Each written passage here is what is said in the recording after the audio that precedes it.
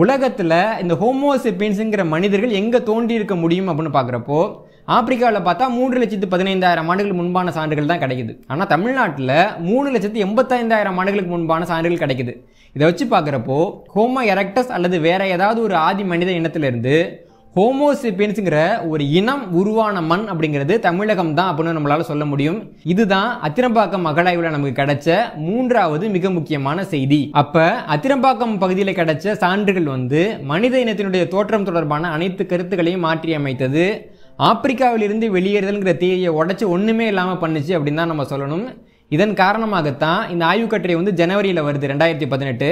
ரெண்டாயிரத்தி பதினெட்டு மே மாதம் இருபத்தி ஐந்தாம் தேதி அன்னைக்கு தமிழகத்தினுடைய தொல்லியல் துறை அமைச்சராக அப்போ இருந்த மாஃபா பாண்டியராஜன் அவர்கள் மனிதர்கள் முதன் முதலில் தோன்றிய இடம் தமிழகம் தான் என்று ஊடகங்களுக்கு பேட்டி கொடுத்தார். ஆனால் இந்த செய்தியை வந்து எவ்வளவு பேருக்கு வந்து தெரிஞ்சிருந்தது?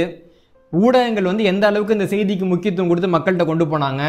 யூடியூப்பில் வந்து அறிவியல் பேசுகிறோங்கிற பேரில் தமிழர்களுடைய வரலாற்றுக்கு தமிழர்களுடைய அறிவுக்கு எதிரான கருத்துக்களை சொல்லக்கூடிய எவ்வளவோ பேர் இருக்காங்க. ஆனால் அவர்களில் எத்தனை பேர் இந்த கருத்தை மக்களுக்கு கொண்டு போய் சேர்த்தாங்க அப்படின்னு பார்த்தோன்னா நீங்களே அதை புரிஞ்சுப்பீங்க நான் நம்புகிறேன் இந்த கருத்து பெரிய அளவில் மக்களை போய் சேரலை ஆனால் தமிழக தொல்லியல் துறை அமைச்சர் இந்த கருத்தை முன்வைத்தார். உலகத்தில் வந்து ஆப்பிரிக்காவில் இருந்தால் மனித இனம் தோன்றுனதுங்கிறத உடைக்கக்கூடிய ஆதாரங்கள் தமிழ்நாட்டில் கிடச்சதுங்கிற கருத்தை அவங்க முன் வச்சாங்க.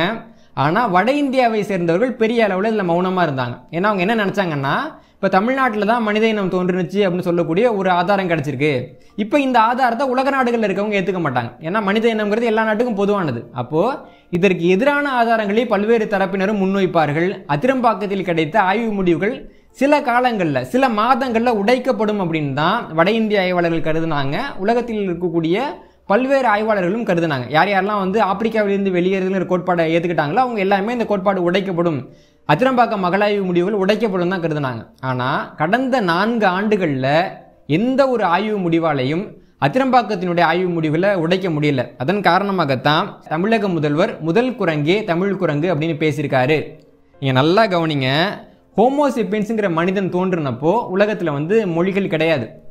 அப்படி இருக்கிறப்போ எப்படி வந்து முதல் குரங்கே தமிழ் குரங்குன்னு சொல்கிறாங்க அப்படிங்கிறது வந்து ஒரு பெரிய கேள்வியாக சில பேர் முன்வைக்கிறாங்க ஒரு விஷயத்தை நம்ம கவனிக்கணும். மனிதர்களுக்கு வந்து குரல் நான் வந்து பேச்சுக்கு ஏற்ற மாதிரி மாறி மனிதர்கள் வந்து இன்னைக்கு இருக்கக்கூடிய மொழிகளை பேசக்கூடிய ஒரு வல்லமை பெற்றதுங்கிறது ஒரு ஐம்பதாயிரம் ஆண்டுகளுக்கு முன்பாகத்தான். சில ஆய்வாளர்கள் நாற்பதாயிரம் ஆண்டுக்கு முன்பாக அப்படின்னு சொல்கிறாங்க அப்போது தமிழ் குரங்கு அல்லது தமிழ் நிலத்தில் தான் ஆதிமனிதன் தோன்றுனாங்கிற கோட்பாட்டை பார்த்தோம்னா தமிழ் என்பது ஒரு மொழியை மட்டும் குறிப்பிடவில்லை தமிழ்நாடு அப்படிங்கிற நிலப்பரப்பையும் குறிப்பிடுகின்றது. அப்போது தமிழ்நாட்டில்தான் ஆதி மனிதன் முதன் முதலாக தோன்றினான் என்பது அறிவியல் ரீதியாக ஏற்றுக்கொள்ளப்பட்ட உண்மை அப்படின்னா அதை வந்து முதல் குரங்கு தமிழ் குரங்கு அப்படின்னு சொல்கிறதுல எந்த ஒரு தவறும் கிடையாது. அல்லது முதல் மனிதன் தோன்றிய இடம் தமிழகம் தமிழகத்தில் தோன்றியவன் தான் முதல் மனிதன் தமிழ்நாடு தான் மனித இனத்தினுடைய தொடக்கம் அப்படின்னு சொல்றதுலையும் எந்த தவறும் கிடையாது. அதைத்தான் மாண்புமிகு தமிழக முதல்வர் அவர்கள் சொல்லியிருக்கிறார். அதிரம்பாக்கத்தில் நடந்த அகழாய்வு முடிவுகள் வந்து நமக்கு வந்து மிக முக்கியமான ஒரு சான்றை கொடுத்திருக்கின்றது. கற்காலம் அல்லது கற்கருவிகளை அடிப்படையாக கொண்டு ஆய்வு செய்யக்கூடிய யாராக இருந்தாலும் அந்த சான்றுகளை ஏற்றுக்கொண்டு தான் ஆக வேண்டும். ஆனால் அப்படிப்பட்ட சான்று நமக்கு கிடைச்சும் கூட தமிழர்கள் கூடவே வாழக்கூடியவர்கள் இன்னைக்கு என்ன சொல்லிக்கிட்டு இருக்காங்கன்னா தமிழர்கள் கிட்டக்க ஆப்பிரிக்காவிலிருந்து வெளியேறுதல்ங்கிற தேரி தான் சரி.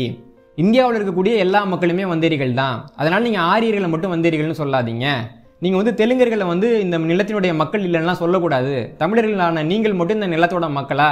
நீங்கள் எல்லாம் ஆப்பிரிக்காவில் இருந்தானே வந்தீங்க? அப்படிங்கிற சில கேள்வியை நம்மளை நோக்கி கேட்குறாங்க உலக புகழ்பெற்ற ஆய்வாளர்கள் இந்த மண்ணில் இருக்கக்கூடிய ஆதி மனிதர்கள் வந்து இந்த மண்ணில் பல லட்சம் ஆண்டுகளாக இருக்கிறார்கள் அப்படின்னு சொன்னால் கூட இவங்க வந்து தமிழர்களுக்கு எதிரான வாதத்தை மட்டும் பொறுக்கி எடுத்து தான் முன்வைப்பாங்க தமிழ்நாட்டினுடைய தொல்லியல் அமைச்சது வந்து மனித இனம் தோன்றினது தமிழ்நாடு தான் அப்படின்னு சொன்னாலும் கூட தமிழக முதல்வர் இந்த உலகத்தில் மனித இனம் ஹோமோசிபின்ஸுங்கிற இனம் தோன்றினது தமிழ்நாடு தான் அப்படின்னு சொன்னால் கூட இங்கே இருக்கக்கூடிய மக்கள் வந்து ஆப்பிரிக்காவிலிருந்து வந்தேறியவர்கள் தான் இந்த நிலத்தில் பூர்வீக மக்கள்னு யாருமே கிடையாது அப்படின்னு தான் தமிழர்கள் கூட இருக்கக்கூடியவர்கள் சொல்வார்கள். அப்போ இவர்களுடைய நோக்கம் தமிழர்களுடைய அறிவை வளர்ப்பதா அல்லது தமிழர்களுடைய அறிவு வளர்ச்சியை தடுப்பதாங்கிறத மக்களாகிய நாம் சிந்திச்சு பார்க்கணும்.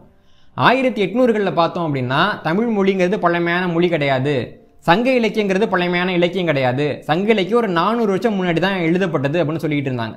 ஆனால் ஆயிரத்தி தொள்ளாயிரங்கள் வர்றப்போ சங்க இலக்கியங்கிறது ரெண்டாயிரம் ஆண்டுகளுக்கு மேலே பழமையானது அப்படிங்கிறத நிரூபித்தோம் பின்னாடி வந்து நம்ம அகழாய்வுகளில் கால் வைக்கிறப்போ ஆயிரத்தி தொள்ளாயிரத்தி அறுபதுகள்லேயே நம்ம வந்து கொற்கை துறைமுகம் மாதிரியான பகுதியில் வந்து கிம் எட்டாவது நூற்றாண்டில் வந்து பயன்பாட்டில் இருந்ததுங்கிறத நிரூபித்தோம் இன்றைக்கி இரும்பு தொடர்பான ஆய்வுகளில் நம்ம கால் வைக்கிறப்போ தமிழகத்தினுடைய பழமை வந்து மிக குறைஞ்சபட்சம் நாலாயிரத்தி இரநூறு ஆண்டுகள் நம்ம நிரூபிச்சிருக்கோம். இன்னும் வந்து கடல் கொண்ட அந்த பகுதிகளை அந்த குமரிப்பு நிலப்பகுதிகளை நம்ம ஆய்வுக்கு வந்து மேற்கொள்கிறப்போ தமிழர்களுடைய பழமைங்கிறது குறைஞ்சபட்சம் பன்னெண்டாயிரம் ஆண்டுகளுக்கு மேலே போகலாம் அப்படின்னு ஆய்வாளர்கள் சொல்லிட்டு இருக்காங்க. இதற்கெல்லாம் மேலே இந்த கற்காலம் தொடர்பான ஆய்வுகளை பார்க்குறப்போ ஏற்கனவே தமிழர்களுடைய பழமை அப்படிங்கிறது மூன்று லட்சம் ஆண்டுகளுக்கு மேலே போயிட்டு இருக்கு இந்த டிஎன்ஏ தொடர்பான ஆய்வுகளை பார்க்குறப்போ தமிழர்களுடைய பழமைங்கிறது குறைஞ்சபட்சம் அறுபத்தைந்தாயிரத்துலேருந்து எண்பத்தைந்தாயிரம் ஆண்டுகள்னு போயிட்டு இருக்கு ஆனால் தமிழர்களுடைய பழமை தொடர்பான இந்த ஆய்வு முடிவுகள் எல்லாம் நமக்கு சாதகமாக வந்து கொண்டிருந்தாலும் கூட இந்த உண்மையான ஆய்வு முடிவுகளை நமக்கு தெரியாமல் பார்த்துக்கிட்டு நமக்கு எதிராக சொல்லப்பட்ட உடைந்து ஒண்ணுமே இல்லாம போன பழைய கருத்துக்களை மட்டும் நம்ம காதுல சொல்லக்கூடிய வேலையை தான் நம்ம கூட இருக்கக்கூடிய பெரும்பாலான நபர்கள் பார்த்துக்கிட்டு இருக்காங்க. இது வந்து ஒரு தமிழ் இன வெறுப்பு மனநிலை அல்லது தமிழர் வரலாற்றுக்கு எதிரான மனநிலை அப்படின்னு தான் நம்ம பார்க்கணும். இன்னைக்கு வந்து ஆப்பிரிக்காவில் இருந்து தான் வந்து மக்கள் வந்தாங்க. தமிழர்கள் இந்த நிலத்தோட மக்கள் இல்லை அப்படின்னு சொல்றவங்க யாருன்னு பார்த்தோம்னா இவங்களுடைய முன்னோர் யாருன்னு பார்த்தோம்னா ஆயிரத்தி எட்நூறுகளில் சங்க இலக்கியங்கிறது நானூறு வருஷம் தான் பழமையானது. தமிழ் மொழிங்கிறது நானூறு வருஷம் தான் பழமையானதுன்றதை சொல்லிட்டு இருந்தவங்க தான் அப்போ இருந்த தமிழக ஆய்வாளர்கள் இவங்களுடைய கருத்தை காது கொடுத்து கேட்டிருந்தாங்க அப்படின்னா இன்னைக்கு தமிழ் மொழியினுடைய பழமை வந்து மிக குறைஞ்சது ரெண்டாயிரம் ஆண்டுகளுக்கு மேலே அப்படின்னு நிரூபிச்சிருக்க முடியாது. தமிழ் இனத்தினுடைய பழமைங்கிறது நாலாயிரத்தி இரநூறு ஆண்டுகளுக்கு மேலே அப்படின்னு நிரூபிச்சிருக்க முடியாது. தமிழர்களுடைய மரபணியினுடைய பழமை அறுபத்தைந்தாயிரம் ஆண்டுகளுக்கு முற்பட்டது அப்படின்னு நிரூபிச்சிருக்க முடியாது. ஆனால் இன்னைக்கு நம்ம என்ன பண்ணுறோம் அப்படின்னா அதே மக்களினுடைய யார் நம்ம வரலாற்றுக்கு எதிராக பேசுனாங்களோ அந்த மக்களினுடைய கருத்தை தான் காது கொடுத்து கேட்குறோம். அந்த கருத்தை தான் பரப்புறமே தவிர நமக்கு எது சாதகமான கருத்து அப்படிங்கிறது கூட நமக்கு தெரியல. நம்ம என்ன பண்ணுறோம்னா யாராவது ஒருத்தவங்க படிச்சுட்டு நமக்கு சரியான கருத்தை சொல்லுவாங்க அப்படின்னு நினைக்கிறோம்.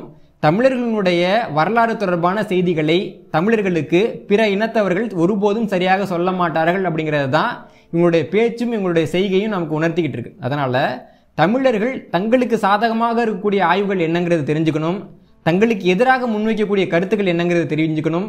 நமக்கு எதிரான கருத்துக்களை முன்வைக்கக்கூடியவர்களுடைய வரலாறு என்ன அவங்களுடைய நோக்கம் என்னங்கிறதை நம்ம தெரிஞ்சுக்கணும். அப்படி தெரிஞ்சுக்கிட்டால் மட்டும்தான் தமிழ் இனத்தால் தன்னுடைய வரலாற்றை வந்து காப்பாற்றிக்க முடியும். ஏன்னா ரெண்டாயிரத்தி பதினெட்டாவது ஆண்டில் தமிழர்களுக்கு சாதகமான ஒரு மிகப்பெரிய கண்டுபிடிப்பு நடந்தும் கூட இப்படி ஒரு கண்டுபிடிப்பு நடந்ததுங்கிற செய்தி இன்னைக்கு வரைக்கும் தொண்ணூத்தைந்து சதவீதம் தமிழர்களுக்கு தெரியாது.